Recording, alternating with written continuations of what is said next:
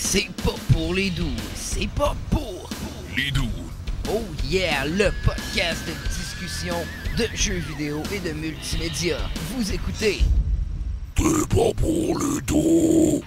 Hey, bonjour tout le monde, bienvenue à C'est pas pour les doux, édition Je le sais pas, je m'en sac. Euh, ce soir, euh, qui est avec nous? Ben, il y a Max. le euh, toqué. euh, Le Toki paraît-il. Crème, il, il prend son titre, enfin! Ouais, ouais, Je suis ouais, ouais. content. C'est bien de s'assumer, Max. Je suis là. Vous venez d'entendre aussi euh, Jason, le joueur cynique. Bonsoir, Jason. Bonsoir, bonsoir. Hey, euh, puis sinon, ben, Kayla était parmi nous, on est chanceux. Bonsoir. Assez Oui, je suis là. Avec Oui. JF de Watching Ben, Fucking Games. Puis GF de Watching Ouais. Game, euh, la page où est-ce qu'il se passe plus rien. Ouais, Parce hey, qu'on est-ce watch fait- plus puis on game On plus. fait une mention spéciale à notre spectateur? On est une édition Ben, pourquoi live aujourd'hui, les amis. Je me souviens plus de son nom. Fait Oh yeah, c'est Mr. Frank de Québec, un, un auditeur qui nous écoutait surtout live. Damn. Fait que lui, ça- je pense qu'il était même pas trop au courant qu'on avait continué après qu'on ait arrêté les lives. Fait qu'il va pouvoir s'abonner sur Podbean. Bon, ben, tu sais quoi Et, faire, tu euh, vas pouvoir justement downloader tous nos épisodes puis monter nos. euh, Exactement. Nos codes d'écoute. Shameless plug. Il va falloir s'acheter de la pub sur Facebook. Ah, ça serait malade. Tu- en plus, t'es spécialiste là-dedans, Oh yeah. Dans une ancienne vie. dans une ancienne vie. Bon, bon, bon. hey, euh, encore une soirée chargée ce soir. Euh, on va commencer bien sûr euh, avec le typique bloc nouvelle.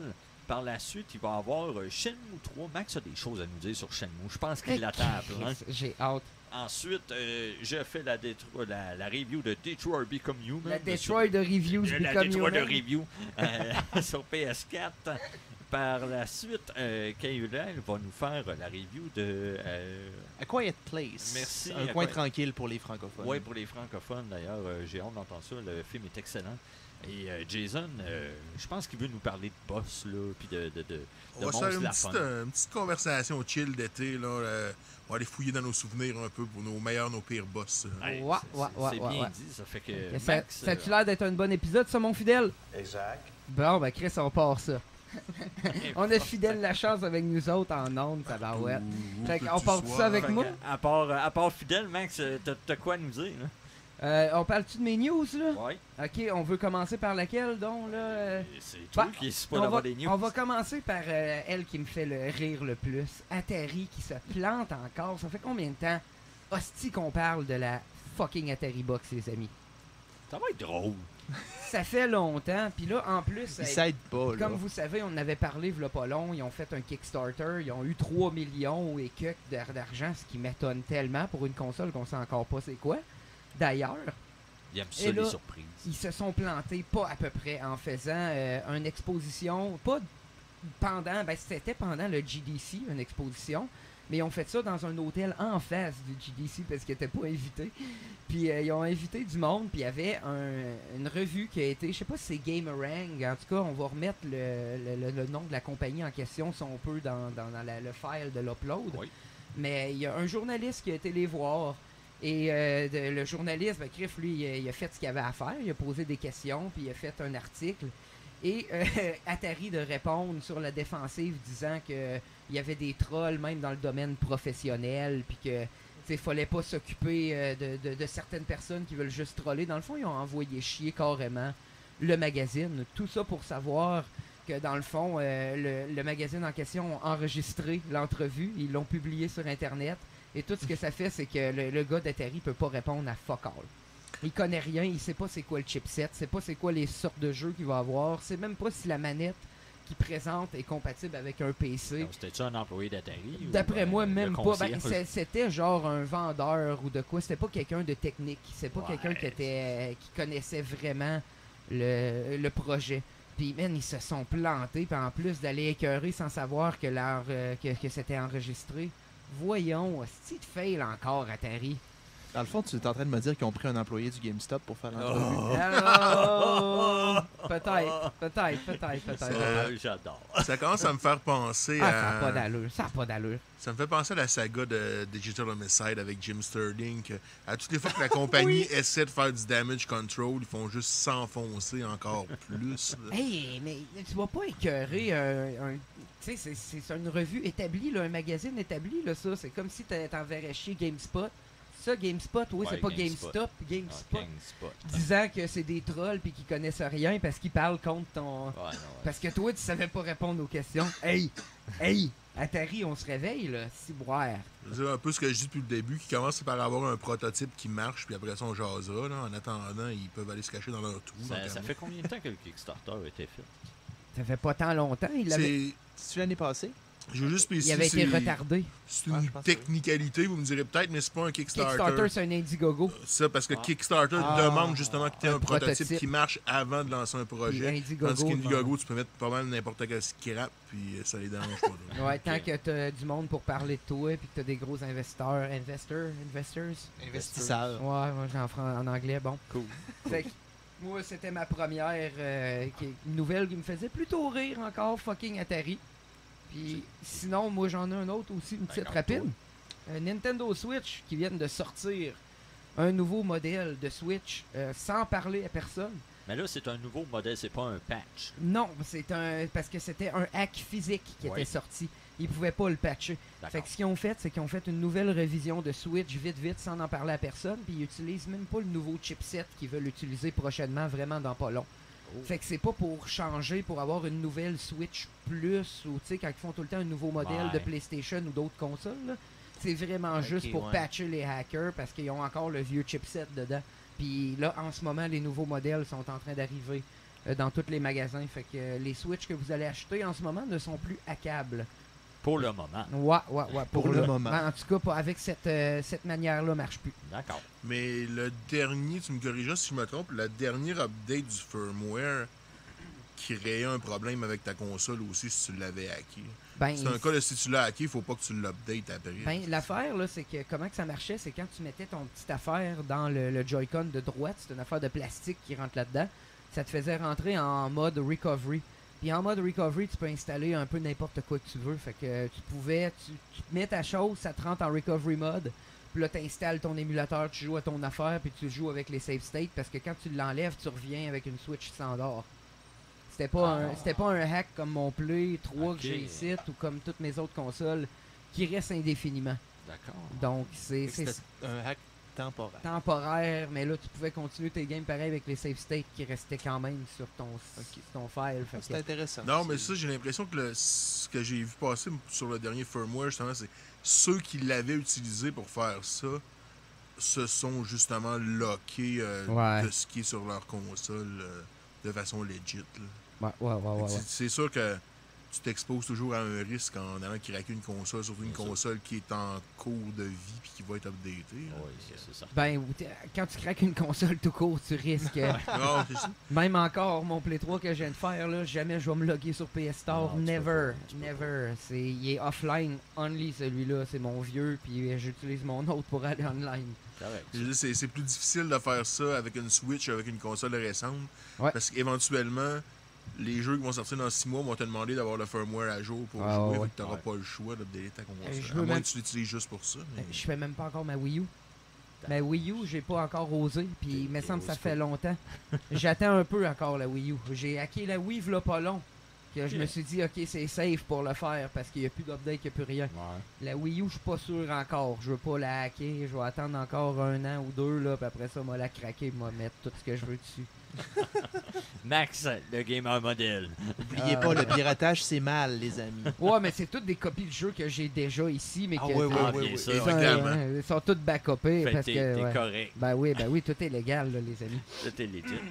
Ouais, fait qu'on passe à un autre Oui, news. ben, euh, on va parler d'Overwatch pour faire changement. Pour faire changement.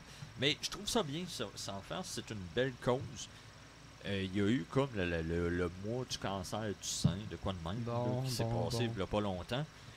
Puis Blizzard ont voulu faire de quoi de spécial? Ils ont fait un skin spécial de Mercy, rose, vraiment couleur là, euh, cancer du sein. Puis tout Ah le monde ça, oui. qui achetait le skin, qui était d'ailleurs 20$ US, le Ouh! skin, toute Ah. la totalité de l'argent allait au, en fin de compte à la recherche du cancer du sein.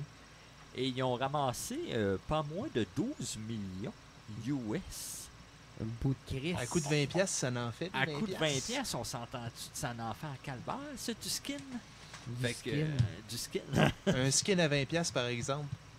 Ah, c'est de l'abus. Voyons là, c'est de la sainte abus. C'est cher. Mais on, c'est impressionnant. C'est impressionnant comment que Blizzard ont réussi à frapper très fort avec un seul skin puis ramasser 12 millions pour une bonne cause. Je veux pas, regarde. il faut combattre cette maladie. Fait que euh, non, c'était la première nouvelle. Sinon, Bon, ben, c'est bon, c'est noble. oui, c'est noble. Et Grand Theft Auto 5 ra- rafle tout encore euh, sur les internets en digital. Encore le numéro 1 euh, sur PS4 avec le, le, le sorte de patch qui veulent sortir, là, que tu vas faire ton club. là. Bon, ben, ça a comme explosé encore les ventes de Grand Theft Auto 5 de façon digitale. Mais Chris, ça fait combien d'années que c'est sorti, ça, ce jeu-là? 2013. 2013. et ça Je pense que reste- c'est pas sorti du top 10 Fin, une fin. fois depuis que c'est sorti. C'est l'enfer. C'est comme les Beatles. C'est c'est intuable. Ça n'a pas d'allure, ça. c'est comme les Beatles. Dans sauf que- 50 ans, le monde va encore jouer à GTA 5. Ouais, sauf que tu peux. euh, les Beatles, ben, c'était de la bonne musique. Ça, ben, tu tues du monde. Mais est-ce que je peux faire un Il y a de la commentaire? drogue dans les deux. Oui, oui, effectivement. Je peux-tu faire un, un commentaire controversé? Controversé. Je trouve que GTA, là... Sérieux, là? Ah, Je suis pas un terrible de GTA. Est-ce que, est que je vais me faire lapider? Oui, Ben, écoute, j'ai recommencé. On a un spectateur en arrière qui hoche de la tête en disant que la roche s'en vient. J'ai recommencé Breath of the Wild pendant mes vacances, puis je pourrais te partir le même sample. Ouh. C'est-tu une volée que tu veux? Yes. Bon, bon, bon, bon. Con, mettez-vous bon, pas Je t'ai dit, quand on parle de Breath of the Wild, là, tu manges une volée. C'est pas long. Ah, les petits fanboys qui ont euh, leurs émotions à fleur de peau. Là. Fait que là, le fanboy, euh, il paraît que tu veux nous parler de Shenmue. Shenmue 3 qui a eu une Shenmue. méga, méga news à propos de ça. Mais avant, je faudrait, je demande à mon spectateur s'il m'avait pas apporté une bière. Ça se ferait tout ça, mon spectateur? Il serait malade. Merci. Fait que, ouais, Shenmue 3, là, il y a une grosse news qui est sortie. Euh, le jeu serait 100 gigs. 100 gigs. 100 gigas octets, les amis. Et là, tu parles juste pour Shenmue 3. Pour là. Shenmue 3. Ça inclut pas Shenmue 1 et 2 Non, collection. c'est Shenmue 3 tout seul. Normalement, un jeu, c'est comme en gros, God of War a été installé, il est 40 gigs. J'ai vu un Call of Duty qui était disponible sur PlayStation Plus. J'ai regardé pour le fun comment c'était gros, c'est 70 gigs. Moi, 100 ça m'impressionne pas. euh, Ça, moi non plus, ça, ça me scandalise pas particulièrement. Ben, moi, on- je trouve que c'est débile. Merci, mon cher Yvon. Tabarnak, deux. On n'en manquera pas ici. C'est c'est beaucoup, mais euh, Moi, je trouve que c'est malade mental pour vrai. Puis je trouve que c'est très important parce que euh, Chris qui dit euh, un gros jeu, dit que Chris, il va avoir du stock à faire dedans. Là. Puis là, Shenmue, Faut ça assez mal programmé. Oh! non, ben Shenmue, c'est qu'il pack pas comme, tu sais, Call of Duty, je vais donner un exemple. Call of Duty euh, Modern Warfare 3 que je donne l'autre qui est 60 70 gigs, là. T'as trois modes de jeu là-dedans, là. T'as le mode normal, t'as le mode multiplayer, t'as les zombies, puis t'as plein de styles DLC avec. Shenmue, c'est pas ça. Shenmue, c'est Shenmue 3, là. T'as le jeu au complet qui fait 100 gigs. Ça, ça veut dire que d'après moi, ils vont avoir réussi à, à avancer l'histoire de beaucoup. Parce que si vous le saviez, Shenmue, c'est supposé d'être une histoire qui durait 16 chapitres au début.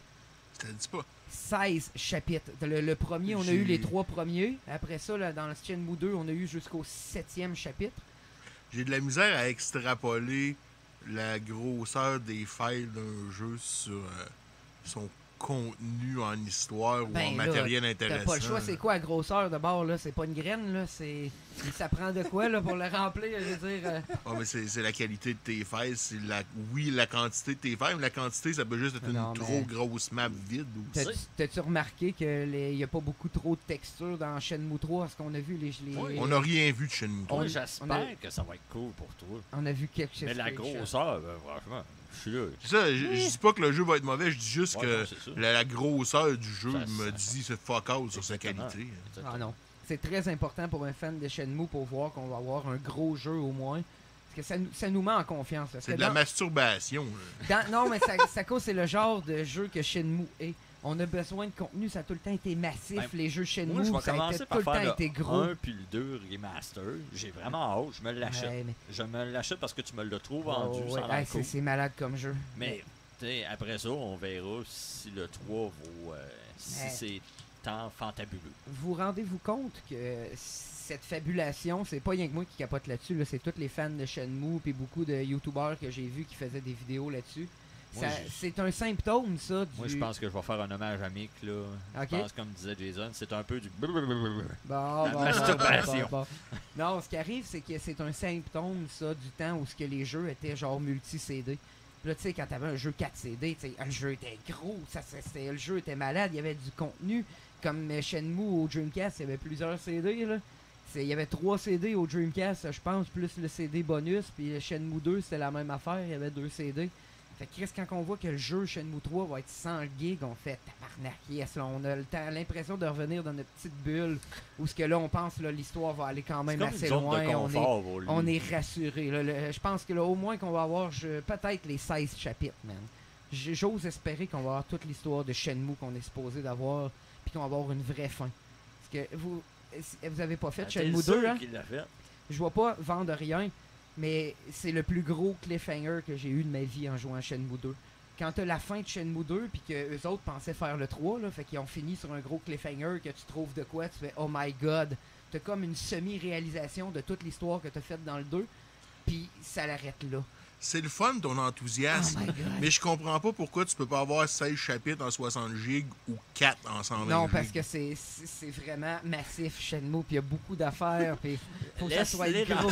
bulle, on va, pas, on va changer Non, de sujet, En ok? 60 gigs, tu peux pas mettre les 16 chapitres de Shenmue. Il y a trop d'affaires. C'est malade, c'est magique. Puis sérieusement, on, les fans de Shenmue comme moi, ils capotent tout. Et j'ai vraiment, mais vraiment hâte. Là, là, pour Masturbation 101, pour vrai, là. Là, pour ceux-là là, qui, qui nous écoutent présentement, qui veulent jouer à boire, là, vous boirez à chaque fois qu'on a dit Shenmue dans les 5 dernières minutes, vous êtes fit. Vous êtes sous-mort à la fin du podcast. En Ouais, fait, vous êtes sous-mort là. Justement, petite petite parenthèse, allez-vous jouer au 1 puis au 2 ici, Je autour de la dit, table? moi. Toi, ouais? Probablement le remaster que je vais essayer. ça. Je pense qu'il Oui. est 40$ piastres pour les deux. Ouais, de toute façon, en il est plus. pas cher. C'est une bonne aubaine. Ah, vous avez 40 pas le choix. Mais comme je vous dis, si vous jouez à ça, prenez votre temps, les gars. Rushez pas, prenez le temps d'aller parler à tout le monde. Prenez le temps de vous promener, de découvrir tout ce que ce jeu-là a à vous offrir. Parce que si vous le rushez, vous allez pas aimer ça. Faut vraiment. C'est c'est une immersion, c'est une expérience chez nous. C'est pas juste un jeu. C'est une expérience de vie. C'est une religion. C'est, je vous le dis, c'est un des meilleurs jeux avec Zelda puis Final que j'ai vu de ma vie. C'est dur, puis les- même les Dragon Quest, ça n'arrive pas à ces trois jeux-là que j'ai dit, même si j'adore Dragon Quest, là, ça n'arrive pas à Zelda Final puis Shenmue. Faudrait refaire un bloc un jour, euh, nos meilleurs jeux de, de tous les temps. voir, Ouais. euh. On n'a Je pense pas qu'on l'a déjà fait depuis qu'on est dans cette formule-là en Non. plus. Peut-être sur Twitch, là, mais on l'a pas fait depuis... On va vous faire ça, on va le C'est prendre. intéressant. On fera Ouais, ça, ouais, ça ouais, peut être ouais, intéressant. ouais, ouais. To- Toi, le spectateur Shenmue 1 puis 2 Non. Tabarnak, je pense qu'on va sortir la roche. Ah là là là là. Fait que là, on peut changer de sujet de Shenmue, là? Ouais, ouais, ouais, ouais, ouais, on peut bien changer de sujet. Fait que j'ai eu la chance d'essayer, euh, quoi, un mois en retard, je dirais? Un mois, un mois et demi en retard. euh, Detroit Become Human sur PS4, exclusivité euh, sur PS4, de la compagnie Quantum Dreams. Si vous avez le PlayStation Plus, vous avez eu la chance de vous procurer Beyond Two Souls, là, deux mois, et ce mois-ci, euh, Heavy Rain, qui est justement de la même compagnie euh, Quantum Dreams. C'est Quantic Dream. Quantic merci, Dream, Quantic, demandais. c'est vrai. Eh, je l'ai justement gratuit sur PS Plus, là, je l'ai pogné, ouais. Tu peux aller chercher. C'est des très bons Euh, jeux. c'est euh, Heavy Rain, euh, Jason. Est-ce que Jason va me bâcher toute la Non, non, soirée? mais j'ai. euh, Toi, t'aimes pas ça, Il Jason? He prepared the ammunition. J'aime particulièrement pas Beyond Two Souls. Euh, Heavy Rain m'a laissé complètement indifférent. Euh, J'en ai déjà parlé souvent, gars. Allez-y. euh. Euh, Mais moi, on t'a fait, dit que t'haïssais ça? Moi, moi, j'ai fait Heavy Rain là, déjà plusieurs années. Je me souviens même plus combien de temps. Euh, je me souviens qu'on pouvait faire un origami. Il nous montrait comment faire pendant l'installation du jeu. Je trouvais ça drôle. Il y Oui. avait, il y avait une présentation des personnages très intéressante. Une possibilité de 19 fins différentes. C'était quand même impressionnant. C'était cool.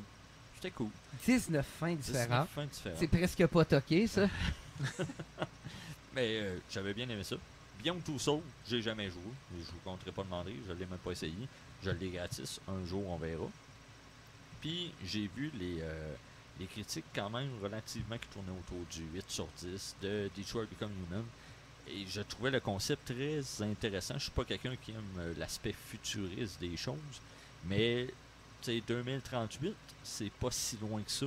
Les androïdes font partie de notre euh, quotidien On voit même, on fait, euh, on fait l'histoire de 1, 2, 3, euh, un, deux, hey, je sais pas combien d'Android 4 4 Android? 3 Android? C'est pas drôle, je m'en souviens même plus.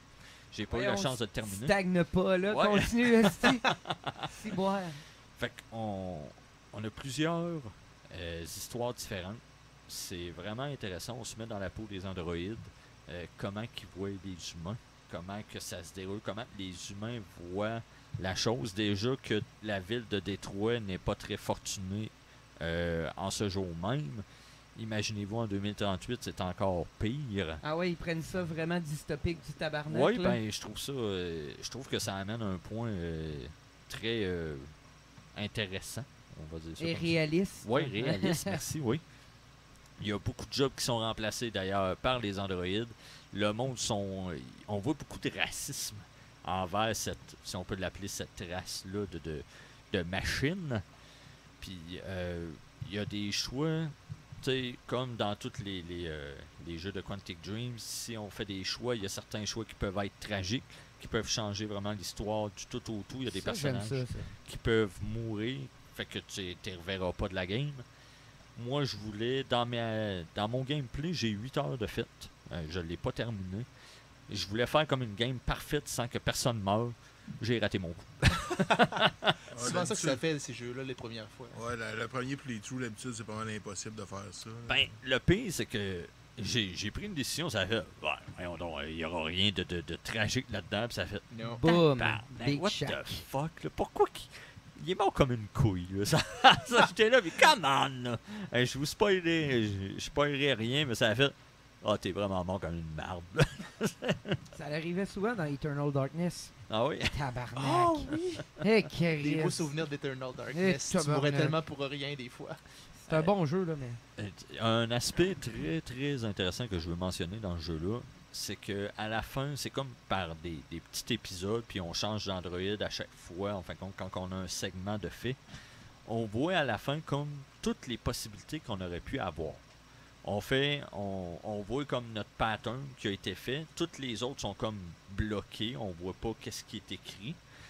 Puis on peut voir euh, la totalité mondiale qui ont joué à ça, quel pourcentage a pris notre chemin, quel pourcentage a pris ce choix-là, quel pourcentage a pris Du l'autre monde choix? qui a joué li- Live, mettons genre? que ton stats. PlayStation est justement Ok. plugué live. Ah.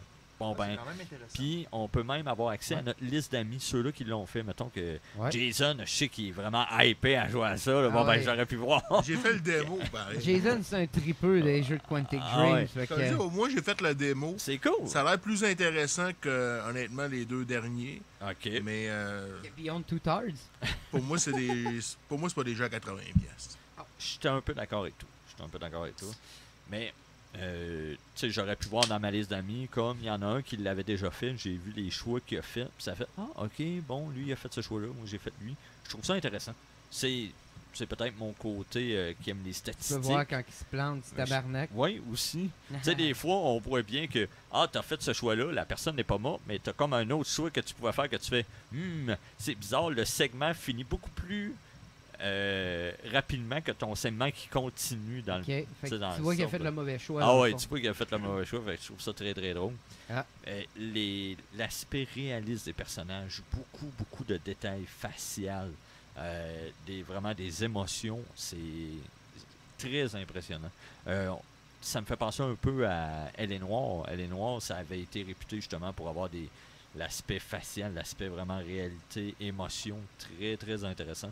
Dans, Bi- dans euh, Detroit Become Human, ils ont fait la même affaire. On est, maintenant, on incarne un vieux, puis je l'ai vraiment mis sur pause. Puis on voyait même vraiment les, les sourcils comme fuckés, tu sais, quand on devient vieux, les taches de vieillesse, les, les rides très très prédominantes dans le visage. Très très impressionnant là-dessus. Beau graphisme. Ouais, graphismes. gros, beau graphisme. La toune est correcte, je sais rien de, de- d'exceptionnel. là. Euh, ça m'a pas marqué.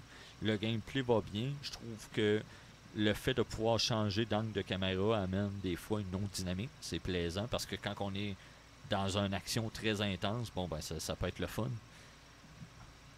Jouer, jouer, c'est plaisant. C'est une expérience. Euh, est-ce que ça vaut la peine de payer ça 92$ plus taxes? Je ne suis pas certain. Mais c'est une excellente location. Moi, c'est sûr que je veux leur louer pour le finir ou je vais me l'acheter dans 5 ans dans une bine à 20$. pièces. Y a ça sur Xbox euh, No One? exclusivité PS4. Ah, Oh, ça aurait été un bon Game Pass game, ça, Euh, j'imagine. Hein? Peut-être, Ben, probablement. ouais, facile, tu payes oui. pas, puis tu le fais. Ça puis- t'apporte un très bon Ben, point, Max. Fait que, joue à ça, c'est cool. J'ai une question pour toi. Ah ouais, donc. Je sais que t'as pas fini le jeu. Ouais. Mais le titre c'est Become Human. Ouais. Est-ce que, selon ce que tu as joué jusqu'à maintenant, est-ce que les androïdes veulent devenir humains? Ou est-ce que tu as l'option de vouloir devenir humain? Moi, présentement, euh, j'ai fini un segment où est-ce qu'il y, a- il arrive de quoi d'assez sévère avec un androïde. Il se réveille dans un dépertoire. Puis c'est là qu'il se rend compte que c'est juste une machine, mais qui veut devenir plus. Puis ben, j'ai été obligé d'aller reporter ma location. Puis je le sais pas. Ah, un beau cliffhanger. Moi-même, j'ai un cliffhanger, mais tu sais, c'est Ah. c'est pas grave. J'ai non, ça laisse sur un beau cliffhanger. Fait que moi-même, j'ai hâte de, de- comme d'aller rejouer pour voir la suite. C'est un jeu d'environ 12 à 15 heures selon euh, si tu prends ton temps. Parce que oui, il y a- il y, a même des, des sortes, on va dire, des quiz qui sont pas nécessaires que tu peux trouver dans tes segments que tu fais. Ah, ok, ça c'est Mais bien. c'est bien. Tu vois d'autres détails, puis il y a même des détails qui vont faire en sorte que ça va influencer l'histoire. Surtout, euh, je pense que Jason va savoir de quoi je parle quand tu as fait un démo avec euh, le détective, avec la petite fille. Il y a, il y a des détails que tu pouvais fouiller, puis tu fais Ah, ok, on sait ça maintenant sur lui, on sait ça maintenant, puis quand tu arrives à la phase de négociation, ça influence tes choix, puis tu peux avoir un meilleur pourcentage de sauver la petite fille. Ça, c'est une des choses que j'ai aimé dans le démo. Puis le fait qu'en même temps, j'avais l'impression que oui, j'en apprenais plus si je prenais le temps de checker les photos, checker le gun, reconstruire la scène au complet. Mais versus ça, si, si tu prends trop ton temps à un moment donné dans le démo, il y a une des polices qui se fait tirer à travers de la vitre par le Ah. Fait que, sais, si tu ça donne aussi l'impression que si tu niaises trop, à un moment donné, ça, ça peut dégénérer du mauvais bord Ah, aussi. Ça, j'avais c'est- trouvé ça intéressant. C'est bon à savoir, ça. Cool. Ouais, c'est ça que j'aime de ces jeux-là. Ah, ça, ça a une. euh, Tu sais, je sais pas combien La de fins. jouabilité assez Ah, intéressante. Énorme, énorme. Je sais pas combien de fins qu'il y a, mais euh, tu sais, tu peux pas t'ennuyer. Si t'aimes ce style de jeu-là, parce que c'est pas donné à tout le monde non plus, mais ouvrez vos horizons, essayez ça, c'est plaisant. Bon, ben, on change tout de bloc, mon Je cher pense qu'on Yvon? va changer de bloc. Allons-y. Un beau mulet Longueuil. Pourquoi? J'ai le mulet. Pourquoi? Prochain bloc. Ben écoutez, on est gâtés ce soir, on a deux reviews. Hey, c'est mais on malade. innove. Euh, moi, je fais une review de film. C'est notre première, je pense, à Oui, je pense. Pourquoi pas? Pourquoi, Pourquoi pas? C'est ton bloc, gâteau. C'est euh, multimédia, après tout, jeux vidéo et multimédia. Fait que j'embarque dans le multimédia. Boom, Big Shack. Euh, Boom Big Shack, en effet. Donc, euh, il y en a qui le savent, ceux qui me connaissent savent que j'adore me faire peur dans la vie. Je joue à beaucoup de jeux d'horreur, mais j'écoute aussi beaucoup de films d'horreur. Et il y en a un qui est sorti récemment. Euh, en fait, la sortie vidéo DVD Blu-ray était hier, mais il est sorti au cinéma il y a quelques mois. Il s'appelait A Quiet Place en anglais, Un coin tranquille en français. Hmm. Et c'est selon moi un des meilleurs films que j'ai vu cette année. Depuis le début de l'année 2018. Je suis d'accord. Euh, c'est un des meilleurs films que j'ai vu, pas juste au niveau de l'horreur, je parle au niveau de tout le film. Je vais faire un petit, euh, un petit résumé rapidement pour euh, vous mettre en contexte. Le- la Terre est envahie par une race d'extraterrestres qui viennent de... On sait pas où, c'est pas expliqué. C'est vrai. vraiment laissé à l'imagination du spectateur. On est introduit dans un monde où les humains sont pourch- pourchassés par ces créatures-là qui sont complètement aveugles, mais qui réagissent extrêmement rapidement au bruit. Donc le moindre bruit les énerve et fait en sorte qu'ils veulent tuer la source. Comme les fucking clickers dans Last of Us. Exact. C'est un peu, oui, ça m'a fait penser un peu à Last of Us. ça, C'est copié. Ça m'a fait beaucoup penser à Last of Us pour ceux qui ont joué à ce jeu-là.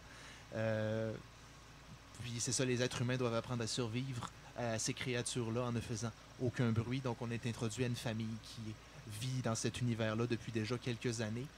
Puis ils vivent dans le silence le plus complet. Ils parlent en langage des signes. Ils se promènent euh, nu-pieds parce que le soulier, ben, ça fait un bruit au sol. Fait qu'ils se promènent tout le temps nu-pieds ou en pied de bas. Il n'y a pas de véhicule, il n'y a pas d'électricité à moitié, il n'y a vraiment pas de ressources. Ils se débrouillent avec ce qu'ils ont. Euh, je veux rien spoiler parce que moi je l'ai vu au cinéma. On s'entend-tu, euh, j'aime bien que Jason ait parlé de Last of Us. Il y a un début de film aussi frappant que Last of Us. C'est Oui. c'est très très Oui. intense le début puis tu fais Oh man, c'est c'est cool. C'est très En cool. effet, oui, on spoilera rien, mais c'est vraiment une, impro- une introduction euh, frappante. Euh, ben, Euh, ça amène. Ça amène. Qu'est-ce qu'ils font les créatures? Oui. C'est intéressant. C'est pas long que tu le sais. Non, c'est pas long que tu le sais. Puis bon, ce film-là, j'ai trouvé qu'il se distinguait beaucoup des autres euh, par son ambiance. Parce que, bien entendu, un coin tranquille, à Quiet Place, le silence est mis en évidence. Beaucoup. C'est un film qui n'a pas ou peu de son, ce qui fait que le moindre son qui arrive dans le film nous fait quasiment glacer le sang. Ouais. Parce qu'on est comme, Eh, ils vont l'entendre, c'est sûr. Mais c'est ça. En plus, dans le film, ce que j'ai trouvé intéressant, c'est qu'il y a un des enfants de cette famille-là, les, les personnages principaux, qui est une petite fille sourde. Et elle est sourde pour de vrai. là. Elle a vraiment joué son propre rôle en tant que personne sourde. Et euh, ça, rend le, ça rend le film absolument fantastique à cause de ça. Je pense que son rôle à elle fait le film à lui tout seul. C'est vraiment euh, impressionnant de voir le travail qu'elle a fait pour justement apprendre aux autres le langage des signes, premièrement. C'est eux qui leur a appris. Et euh, aussi pour son rôle, parce qu'elle devait jouer ça entièrement dans le silence le plus complet, avec son appareil auditif dans les oreilles qui marchait à moitié. C'est vraiment. euh, Que ça a l'air d'être une belle vie. Ah oui, oui, ils sont très Ça heureux. le fun. Ils sont très heureux dans, cette, dans ce film-là. C'est un film à aller voir avec les enfants. C'est super amusant. Faites pas ça. c'est. Qu'est-ce que j'ai justement adoré de ce film-là, c'est que, comme tu dis, le, le moindre bruit, on fait Oh non, oh non, oh non, non. Tu sais, ça, nous met, ça nous met vraiment sur le stress dès qu'il y a le moindre petit son. C'est ça qui est très, très intéressant. Mais c'est pas la base un peu des films, surtout slasher. Je me souviens, genre euh, Nightmare on Elm Street ou Friday, Friday the 13th, où ce que t'entends vraiment un petit son là, qui s'en vient de loin quand le tueur arrive, puis tu le sais, là. Un petit son strident là, qui, mais qui s'en vient puis qui fade in quand tu vois le. Surtout euh, Nightmare on Elm Street. Voyons, euh, Jason, là, Fr- Friday the 13th, ça Je sais fait pas si on peut ça. comparer ça. Trois, avec quatre pas- fakes avant qu'il arrive vraiment. Ouais. Mais t'entends tout le temps, quand il est là, t'entends un petit son, t'as un cue sonore. Là. Ils se sont Oui. pas basés là-dessus, qui ont peut-être euh, bâti sur ce genre de. Moi, en tout cas, c'est de quoi j'ai remarqué dans les slasher films. là, ça. Il y a Oui, beaucoup plus ou moins, je te dirais. euh, les slashers, le truc souvent, c'est que c'est ça. Le, le tueur est annoncé. Nous autres, on sait que le personnage, euh, le tueur ça- s'amène, mais les personnages ne le savent pas. Dans ce film-là, dans Un coin tranquille, tu le sais pas, puis les personnages le savent pas non plus. Il y a vraiment un effet de surprise, justement, ou d'inconfort quand tu entends le bruit puis tu entends la créature, genre ils font des bruits, je, je le ferai pas pour péter les micros là. Je voudrais pas péter les micros, mais tu les entends gueuler puis tu fais comme oh non, ça y est, ils vont se faire tuer.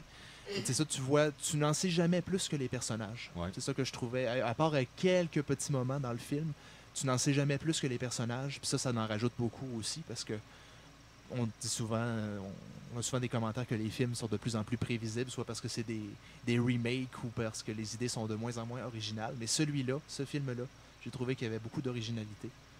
Euh, Je tiens à mentionner, euh, côté réalisation, euh, John Krasinski, de quoi de même. Là. Euh, moi, moi je suis un gros, gros fan, pour ceux qui me connaissent, de The Office, la série américaine. Oui, c'est vrai, oui. Et euh, C'est en le- fait, contre Jim, qui est l'acteur qui a interprété Jim, John Krasinski, ça a été son, sa première réalisation. Il voulait faire justement un film d'horreur. Puis la, sa femme dans le film et sa vraie femme dans la vraie vie, euh, je me souviens plus. Je euh, me souviens pas de son nom, mon nom- son nom m'échappe, mais oui, c'est vrai, j'avais trouvé ça le fun aussi, Oui. que c'était le réalisateur, mais qui jouait le rôle principal du père de famille et que sa femme, c'était aussi sa conjointe dans la vraie vie. Exact. Puis ça devait être un film à très petit budget. Puis ça de... je pense que ses expectations n'étaient réellement pas euh, aussi grandes que ça, loin de là. Non, a parce tel- que c'est un gars qui n'écoute pas de films d'horreur. Il l'a dit. Il Oui. dit Je ne suis pas un fan de films d'horreur, mais je voulais en faire un. Puis voyez-vous ce que ça a fait? ça, ça, l'a Ça a sorti de nulle part, puis ça a fait un bijou, ça a fait un film fantabuleux. C'est, euh, non, Ah ouais. Il y a eu vraiment plein de félicitations par des, des grands noms comme euh, Guillermo del Toro, euh, Stephen King. tu sais, des- vraiment des, des, des pros de l'horreur, on va dire ça comme ça. Fait que, tu sais, ça, disons que ça flatte l'estime. Ça fait un petit velours. ouais, c'est ça, exact.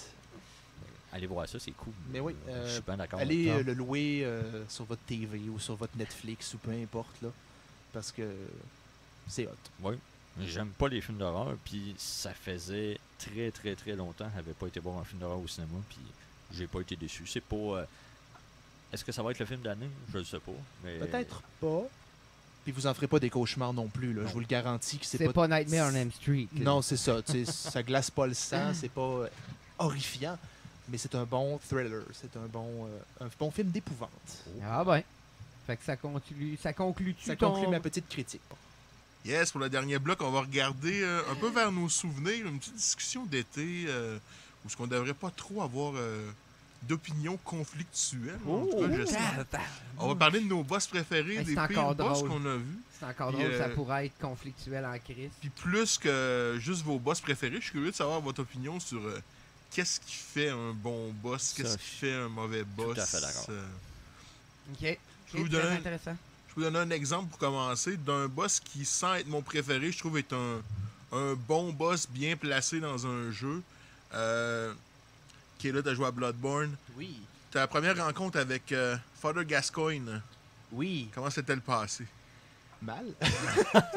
je Pas me suis gas- fait ramasser. Father Mais- Gascoigne est le deuxième boss dans Bloodborne. Ça peut être le premier si, si tu rends pas au. euh, ouais, au ben ça a été le premier pour moi parce que j'ai passé droite euh, à Cleric Beast. Et Mais- Gascoigne est là pour tester que tu as appris comment le jeu fonctionne. Jusque-là, dans le jeu, tu peux, euh, tu peux brute force, tu peux grinder, tu peux passer à travers tout juste en, en boostant tes levels, mais ce, ce boss-là fait sûr que la mécanique de parry que le jeu te mentionne au début, tu l'as appris. Sinon, euh, c'est un mur de briques, et c'est un mur de briques pour beaucoup de nouveaux Ah, il frappe fort. Mais ça que je trouve intéressant, c'est qu'il est là pour voir que tu as fait tes leçons avant de pouvoir continuer Oui. plus loin. Bien d'accord. Mais je serais curieux, vous, les boss qui vous ont marqué. euh, Selon ma définition, ce que tu viens de me dire là, c'est pas un bon boss. C'est trop. C'est- trop je veux- tôt? Quand je veux me faire du fun, je veux pas avoir à passer un test pour faire un examen. Là. Je veux m'amuser, je veux un beau boss avec une mécanique le fun, je veux pas avoir à apprendre. C'est tout dépendant à quoi je joue. Mais- Ouais, mais c'est pas une mécanique nécessairement complexe. C'est que, c'est que le jeu te force à utiliser les outils qu'il t'a donnés. Mon point là-dedans, c'est que ça serait define good. C'est quoi la définition de bon pour toi?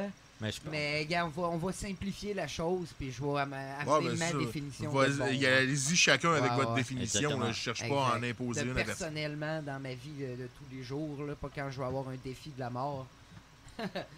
Euh, Voulez-vous j'y aille, ou- Regarde. Ouais, toi. donne-nous-en un, voir. Ben, moi, personnellement, il y a deux boss que j'ai vraiment trippé que je me souviens. Phantom Ganon.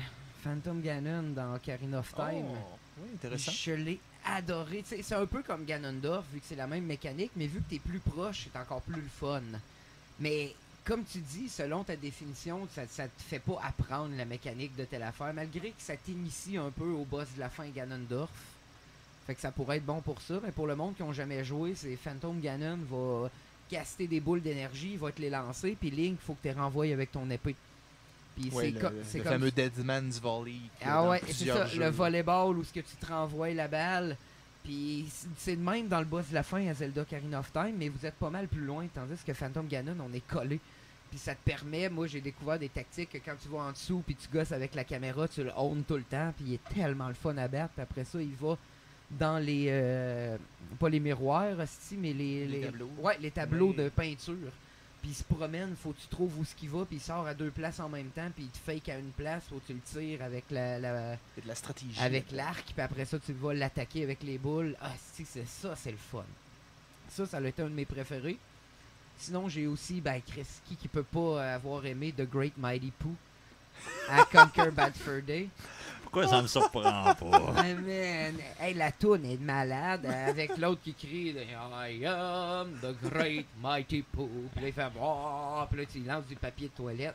tu lances du papier de toilette dans la gueule. Ouais. C'est Ah, fantastique. c'est que c'est hot. Puis là, en plus, ses gammes fit avec le combat, comment tu l'attaques. Genre, plus, tu- plus tu y fais des coups, plus qu'il change ses gammes, puis la suit il chante plus ça. vite, il chante plus aigu. Ah, ouais, c'est que c'est cool. hot. J'adore tellement ce ce boss-là. Ça, pour moi, là, c'est parmi les boss préférés que j'ai vraiment fucking adoré. Là. Ça, c'est... C'est surtout jeu console, là. Moi, j'ai trippé vraiment beaucoup. Sinon, arcade, ben, t'as les Simpsons, que Chris, t'arrives sur une transformation de Monsieur Burns vraiment hot. Ouais. Ben, c'est ça, c'est Arcade Game, ça se compare même pas, là. C'est- parmi trois préférés, mais on voulait-tu parler des pires aussi? Parce que j'en ai une coupe que Ben, est-ce qu'on fait une ronde des meilleurs Ok, et puis ensuite après, une on ronde fait des les pires? pires. On va, on où la discussion nous mène. Parfait. On va c'est continuer bon. avec les meilleurs. On va y aller avec les meilleurs. C'est une bonne question. C'est une bonne question. Euh, un boss qui m'a marqué énormément, le serpent de mer, premier boss de God of War 1.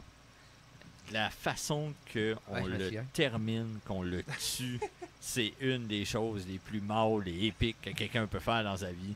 Empaler un serpent de mer sur un mât de bateau, puis faire en sorte que ça y, ça y rentre dans le jeu, puis ça y sort par l'œil, c'est malade. Ça, c'est, le, le boss était très cool. J'ai trouvé ça euh, très original. Ça, ça m'a marqué. Un des de mes boss préférés, je dirais, dans les dernières années, c'est dans le nouveau God of War. La première fois que tu rencontres Baldur's directement Oui. au début du jeu. Tout à fait d'accord. C'est un combat qui est vraiment épique. Euh, c'est un peu dommage que je pense que le jeu retouche jamais ce niveau-là, à, à mon opinion. Le là. gars contre qui tu crisses la volée, Ouais. là, puis... Hey, c'est ouais, intense. ouais. Ah, c'est intense. Ça, je l'ai fait, même si j'ai pas joué beaucoup, là, mais je l'ai fait. Euh, C'est très intense. Par la suite, je vais être cliché. Je vais être cliché. Euh, mettons, quand on parle d'un bon boss, pour moi, il faut que ça soit challenge. Il faut que ça soit un challenge. Il faut que ça soit difficile. J'aime la difficulté à son apogée. On parle des weapons rouges euh, dans Final 7. Il y avait un facteur chance. Ah, les weapons. Le weapon ben bleu, oui. c'est ça bleu? C'était Ben, bleu. toi, tu parles de la Emerald puis de la Ruby, Ouais, c'est ça. exactement. Emerald, c'est elle dans l'eau, puis la Ruby, c'est elle dans le sable. Emerald dans l'eau, euh, c'était un marathon de 40 minutes. là. C'était terriblement long comme, euh, comme combat. Mais À moins que tu fasses le glitch du Hero Drink avec Barrett. Elle l'avait tu- pas fait. Ah non, c'est dur. hein. Chris, Ok. c'est un glitch. C'est un glitch. Mais normalement, le seul moyen, c'est de masteriser tes matériaux, avoir Final Ouais. Attack avec Phoenix qui te heal à chaque fois que tu meurs. mais, euh, tu finis par la tuer, mais c'est dur. C'était très très gros. Ça, c'est des combats épiques, comme on dit. Ouais, ouais, ouais. ouais. Par la suite, euh, je serai pas original. Désolé si je le dis d'avance. euh, Kafka.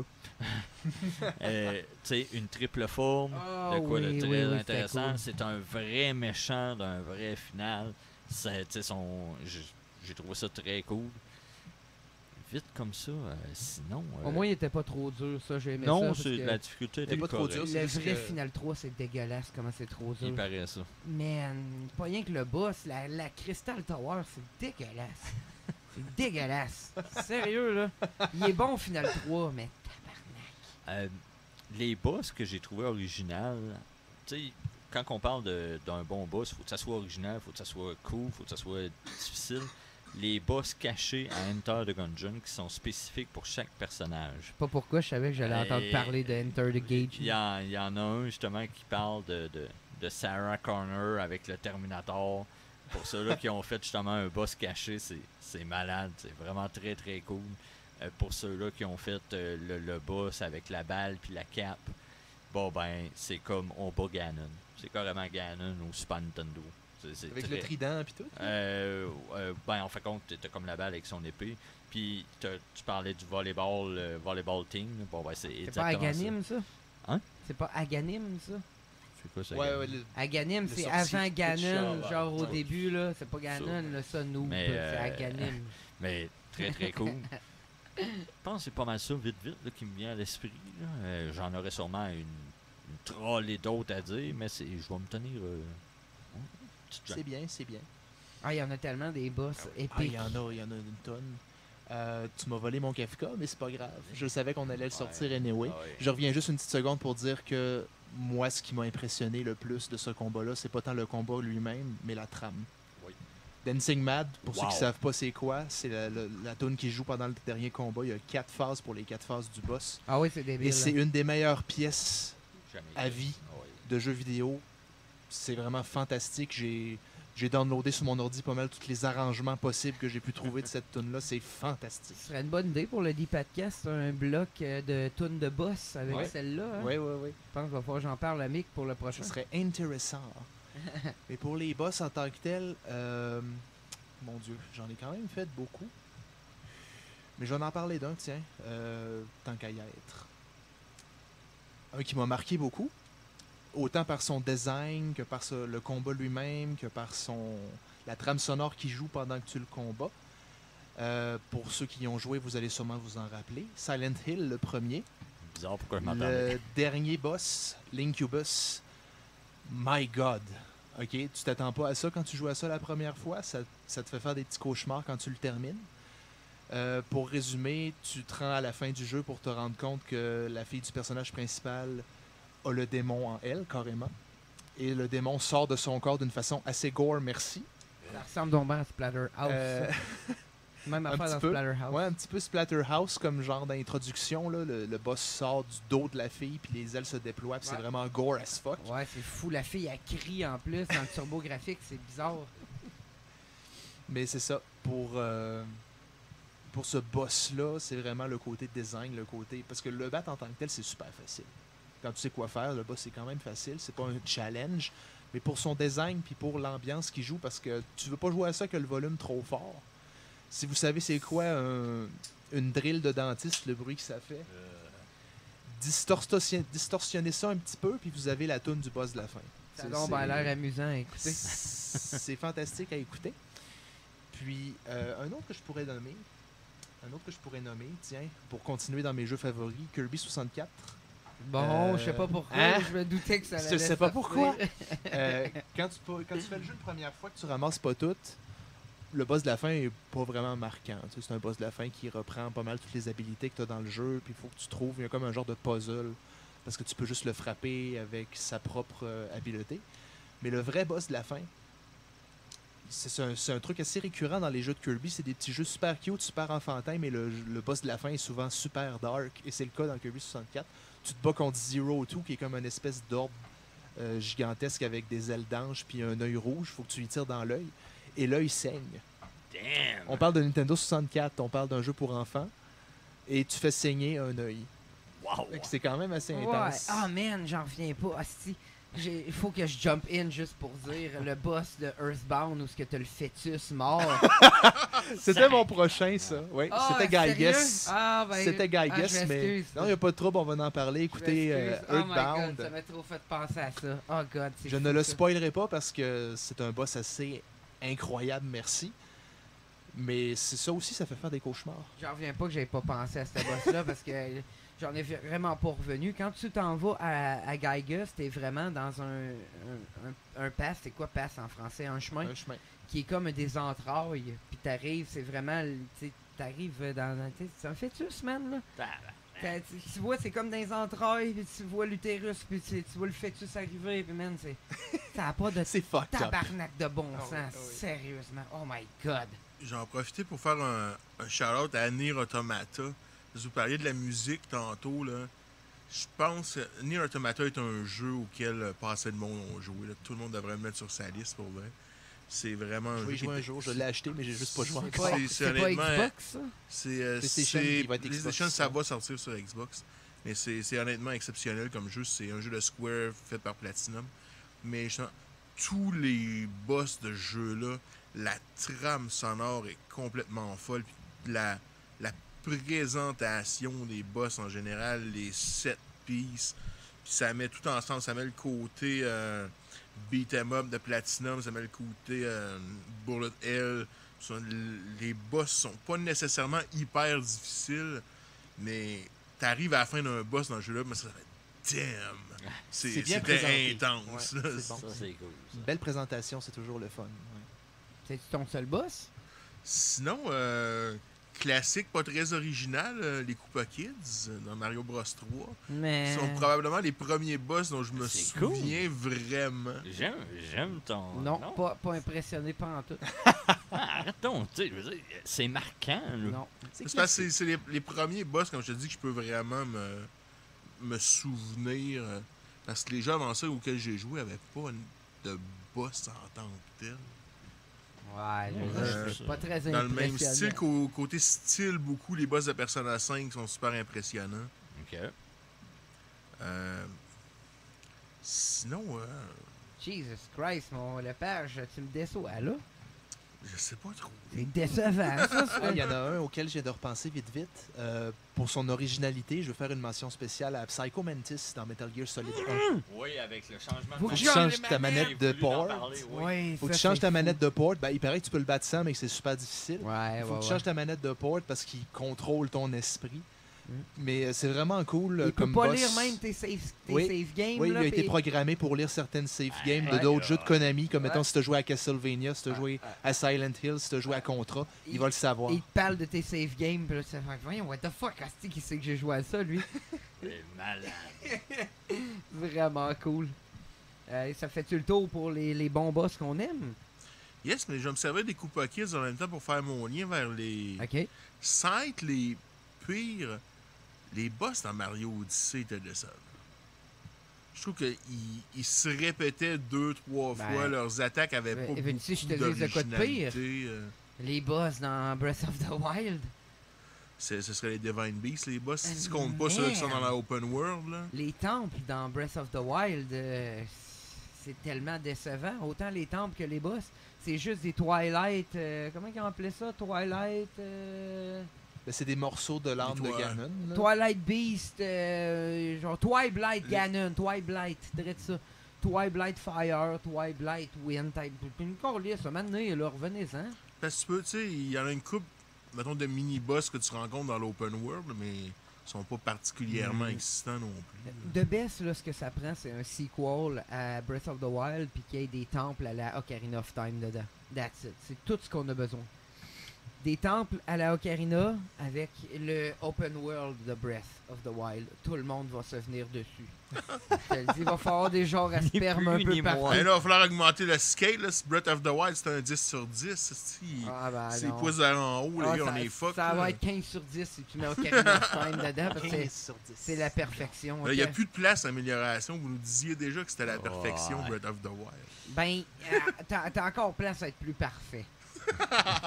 Il n'y a rien de parfait dans la vie qui dit. Si tu changes les temples, là, tu vas être plus que la perfection. Sinon, Jason, t'en avais-tu d'autres? C'est-tu euh, Uncharted 2, je pense? Hein? Le boss de la fin, qu'il faut que tu fasses euh, exploser la genre de sève après les arbres Oui, pour. euh, euh, ça, je suis d'accord. Ah, c'est qui est désagréable. Autant que ce jeu-là, c'est le meilleur de la Ah. série, autant que le boss de la fin, c'était de la merde. Puis, à part Uncharted 4, là, je dirais la fin des Uncharted me fait chier en général. On dirait qu'ils ont tout le temps un, un pic de difficulté. C'est tu dans le 2 ou dans le 3, à un moment donné, les ennemis, c'est des squelettes avec le crâne Ouais. en feu, puis là, tu vois Ouais, flou, dans le puis 3, tout ça. shake. The fuck! Ah oui, t'hallucines des djinns. là, C'est pas agréable. Ouais, ouais. Il est où le plaisir, tabarnak? Hey, euh, on- je, vais, je vais le garder pour mon gars. Allez-y. Ben, moi, j'ai pas dit vraiment le mien encore. Là. Je jumpais in sur ton chose, mais moi, un que j'ai vraiment haï ou trouvé cave, c'est Dark Link dans Zelda 2. Là. Ouais. Ah, c'était tannant. Ah, dans- Ben, premièrement, oui, il est vraiment dur. Il est vraiment dur, mais quand tu sais le truc, par exemple. Ben, c'est ça l'affaire de ce boss-là, c'est que autant qu'il est dur, il est fucking broken. Fait que soit tu te fends le cul du tabarnak puis il est pas battable, ou soit tu t'en vas dans le coin, tu te penches puis tu jabs par en bas, tu vas le tuer. Ouais. Fait que c'est c'est quoi le best Il est broken Je veux dire, euh, c'est c'est pas un bon boss, là, ça. Il est infaisable ou il est broken Zelda 2 à la base. Ouais, Zel- Zelda 2 à la base, c'est Samy. Wow. Là, où, euh, c'est tant qu'à parler de broken, je dirais que Final 8 est broken de, du début à la fin, là. Mais bon, ça, c'est on n'est pas dans On le n'est sujet. pas dans le sujet. Final 8 est broken. Ok. Ah, je t'ai dit. T'en avais-tu d'autres? Non, je pense que c'est pas mal ça, là. C'est quoi euh, Non, je pense pas que j'en avais d'autres. Là, Au pire, je vous interrupterai comme d'habitude. Interrupterai.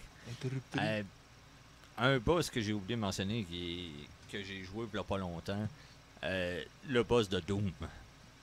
Lequel? Ah, les derniers, les derniers, tout, tout, les, les- les- les deux derniers sont trop malades. là. C'est, on a la fameuse, euh, voyons, euh, cerveau mécanique, là, le- Ouais, l'araignée euh, mécanique est totalement débile dans la tête. Fait que ça, je pense que ça valait une mention. Autant dans les vieux Doom que dans les nouveaux Doom, euh, il faut parler de, de, de ce boss-là qui est assez mythique.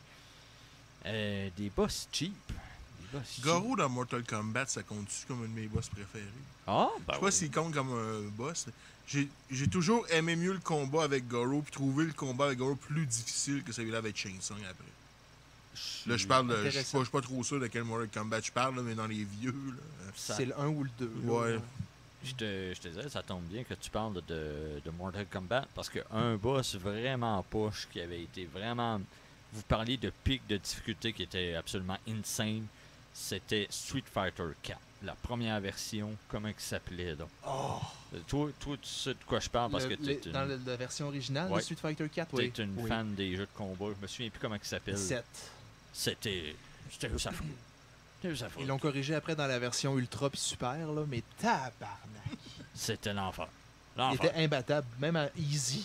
C'est autant que j'ai joué à Street Fighter toute ma crise de vie, je connais mes personnages, autant qu'à la fin, tout ce que ça faisait, c'est baisse tes culottes, sans loupe. Puis Même pas de. KY. Ah, pas de KY, c'est vraiment pas de crachat, rien.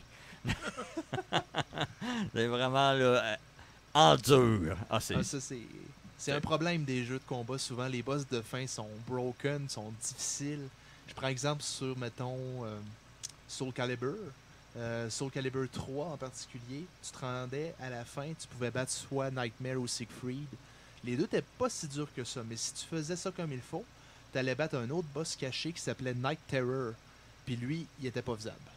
que- Puis il était vraiment, vraiment chiant. Genre que j'ai pas réussi à le battre encore. Puis ça fait longtemps que j'ai pas retouché sur le Calibur 3 à cause de ce dude-là. Euh, un boss vraiment cheap que j'avais détesté, le boss, je me souviens même plus c'est quoi le boss en soi, mais je me souviens de l'événement. Euh, Fable 2. Ah, j'ai pas joué. Fable, s'il te Ouais, plaît. Fable, excusez, ben, en français, whatever. Fable 2. Euh, ouais, Fuck euh, le français. Fa- Les Fable fables 2. de Microsoft. Mais euh, je me souviens de l'avoir tout shoté. C'était le boss de la fin. Ça a fait. Tu viens de me faire penser à de quoi? Ah, c'était de la merde. C'était de la merde. Final Fantasy Tactique, c'est la même chose. Si à Final Fantasy Tactique, t'es assez craqué pour avoir un monk que t'es capable de faire accumulate pendant que le boss s'en vient vers toi, tu peux le two-shotter. Urk. En deux tours, en- je tapais deux tours de 999. 999, 999, 999, 999, boum. Encore Uncharted. Non, mais pour- pourtant, j'aime Uncharted. Mais Ça paraît pas. Je me suis rendu au boss de la fin dans tous les jeux. Mais euh, un autre boss de la fin dans Uncharted, vous voyez de boss de la fin trop facile. C'est vrai que des fois, je trouve ça canon un peu. T'arrives au boss de la fin, le chemin pour te rendre là était difficile ou plus difficile, puis le boss de la fin se, se clenche en je sais pas trop combien de temps. Mais le dos qui attend l'hélicoptère à la fin de Uncharted, là, ça se passe à peu près 7 secondes une fois que tu sais comment faire, puis que ça te fait sacrer pendant 3h30 jusqu'à ce que tu comprennes les bons euh, temps- euh, Quick Time Event à peu près. Là. Là, tu parles du kill. Là. Un ou trois. Hey, crème, là. Si elle me c'est penser à de deux, quoi hein. d'autre. Tu sais, tu, tu Le un, sors, je euh, pense. Je pense tu que sors le stock dans dessous de la terre en hélicoptère, là, puis là, euh, Oui, je pense que c'est le avec oui. le- sur le helipad avec l'autre gars, là, ça se fait à peu près Pendant 7 que les secondes si tu sais quoi faire. Là. courent après, là. Oui. Ouais. ouais, Si, tu sais quoi faire, ça se fait en 7 secondes. Si tu sais pas quoi faire, tu sacs parce que tu comprends pas ce qu'il faut que tu fasses pendant une heure et demie. Ben, C'est pas un très bon design. le Gogo dans Final 5, qui est dans l'océan. Euh, tu sais, t'arrives, tu te fais introduire Gogo, puis t'essayes de le battre, mais il reproduit tout ce que tu fais, il te massacre, ou ben il te tire des météores. Mais quand tu comprends un peu ce que tu sais, de qu'est-ce que tu dois faire, bon ben, tu fais, bon ben, tu rentres dans, tu rentres dans le combat, tu déposes ta manette, puis t'attends. Quand oui, tu sais quoi oui, faire. rappelle, oui. t'attends, puis à un moment donné, ben, il vient avec toi, puis tu viens d'acquérir Gogo. Je trouve ça cool, tu sais, c'est- niaiseux, mais il faut les y penser. J'ai de quoi que le page m'a fait penser, je sais pas pourquoi, mais ton boss que tu viens de décrire m'a fait penser au boss de la fin de Parasite Eve 1, qui est un, tr- Oui. un très bon jeu, Parasite Eve. J'ai rien à y enlever, mais ils ont fait de quoi à deux boss. Pas rien qu'au boss de la fin, mais le boss de la fin, c'est particulièrement, particulièrement chiant, parce que tabarnak, tu passes le boss, puis après ça, t'as une genre de mini cutscene timée, que si tu vas pas à la bonne place, tu meurs et tu recommences le boss. Oh non. ça, Oui. c'est pas cool, Oui. ça. Tu tues le boss, tu l'as tué, t'as un, un genre de cutscene, puis si tu vas pas à bonne place à la map, ben tu recommences, tabarnak. Je m'excuse, mais ça n'a pas, ça a pas sa place, ça prend un boss, ça. tu mets pas une cutscene où ce qu'il faut que tu bouges à une telle place après avoir battu un boss de 40 minutes. C'est genre l'ancêtre des Quick Time Events. Tabarnak! Ça n'a ça pas d'allure, c'est la raison pourquoi j'haïs Parasite Eve. Puis pourtant, c'est pas un mauvais jeu. Mais juste le fait qu'il ait fait ça au boss de la fin, ils, ont, ils méritent pas mon respect. Le, le gars qui a créé ce jeu-là devrait se pendre. Sérieux, là?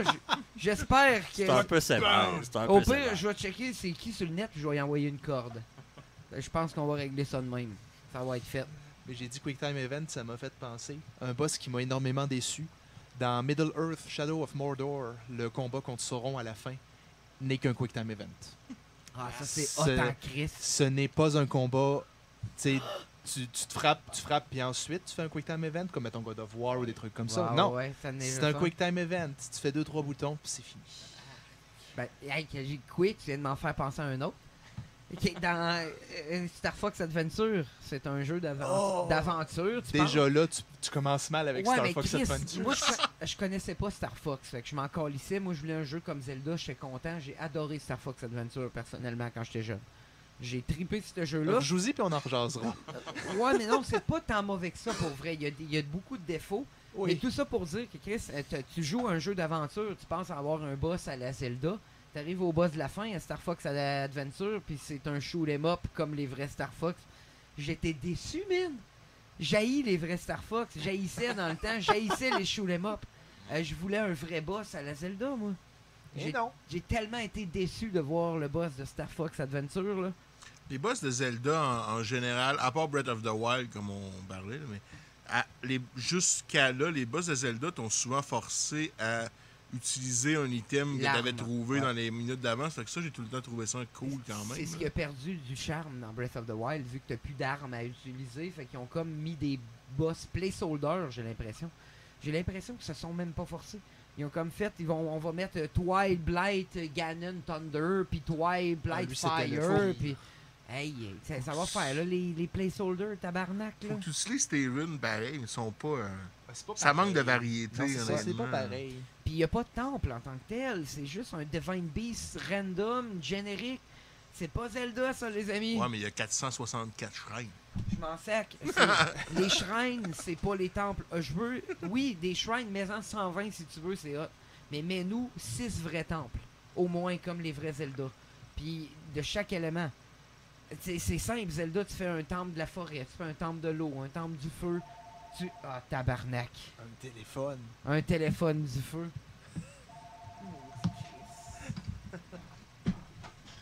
On parle dans ton dos, que t'es pas là. Fait que c'est ça, Chris, les temples sont, sont trop génériques dans le fond. C'est ça mon gros problème moi, avec euh, Breath of the fucking Wild. euh, Mais je pense qu'on commence à avoir fait le tour là. Je pense que. Oui.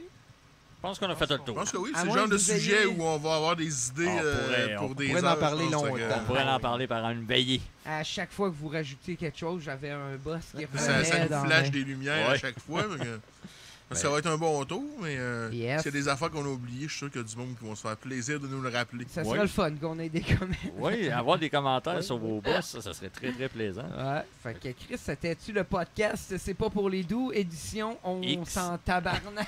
35, édition, ah, arrête de mettre un chiffre là-dessus. on Ben, a il- déjà deux épisodes Ouais, mais qui il a se l'air répètent, sûr de là. son 42.7, Non, on a déjà deux épisodes qui se répètent, là, les amis. Fait que euh, moi, je dis... 34.05. Non, non, moi, je dis, c'est le temps de fermer ça et on se laisse sur ces belles paroles. La cour, j'appelle les polices pour harassment.